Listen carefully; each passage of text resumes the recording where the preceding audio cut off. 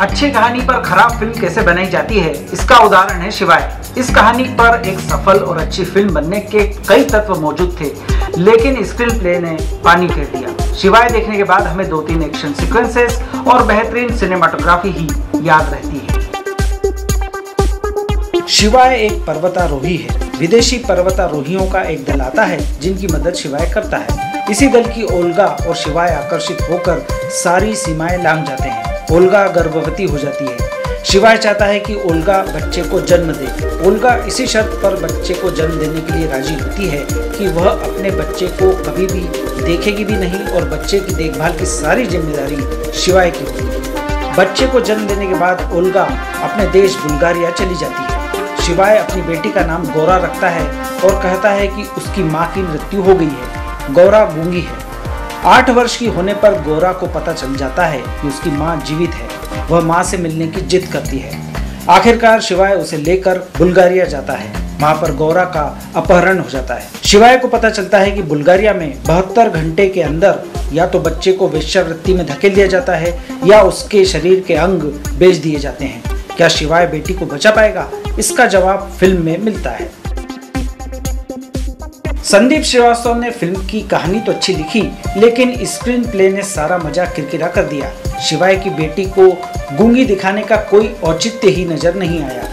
Olga का किरदार भी ठीक से नहीं लिखा गया है।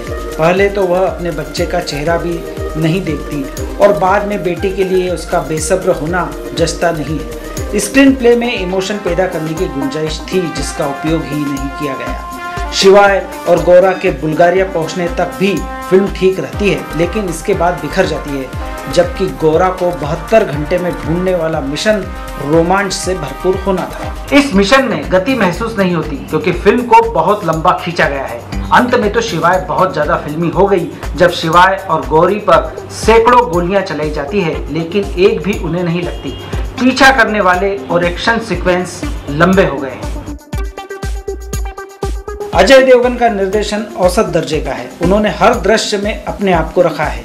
हर कारनामा वे करते हैं। सपोर्टिंग कास्ट को उभरने का अवसर ही उन्होंने नहीं दिया है। इस वजह से सौरभ शुक्ला, गिरीश कर्नाड, वीरदास की भूमिकाएँ आदि अधूरी लगती है। अपने फिल्माए शॉट्स पर अजय इतने मोहित हो गए कि उन्हें हटाने की हिम्मत नहीं जुटा पाए।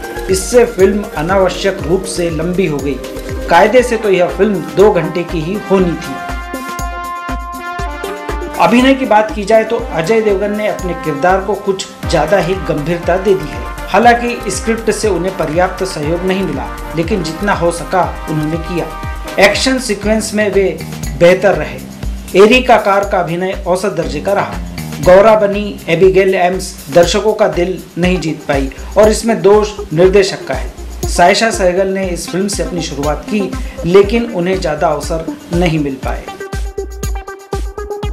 फ़िल्म के स्टंट और एक्शन सीक्वेंस तारीफ़ के योग्य हैं। असीम बजाज की सिनेमाटोग्राफी अंतरराष्ट्रीय स्तर की है। फ़िल्म का टाइटल ट्रैक छोड़ दिया जाए तो मिथुन का संगीत निराशाजनक है। उनका बैकग्राउंड म्यूज़िक बेहद लाउड है। कुल मिलाकर शिवाय एक लंबी और थका देने वाली फ़िल्म है, जिसमें मनोरंजन के तत्व भी कम है। इस फ़िल्म को मैं पाँच में से दो स्टार देता हूँ।